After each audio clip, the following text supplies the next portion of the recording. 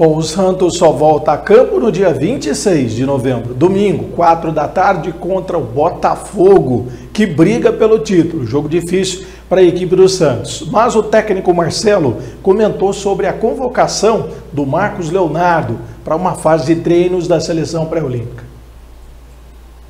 Ele vai para um período de treinamento, ele sabe muito bem também o que vai ser lá.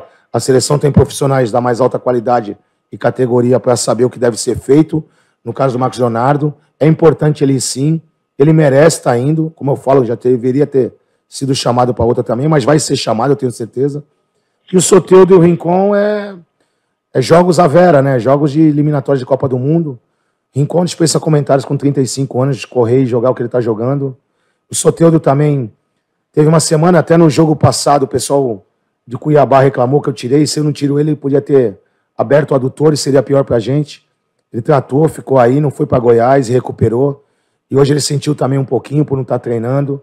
Então acho que a seleção vai ser de boa valia para ele também. E quando eu voltar essa rapaziada aí, vai deixar isso tudo descansando para, se Deus quiser, colocar todo mundo na ponta do meio.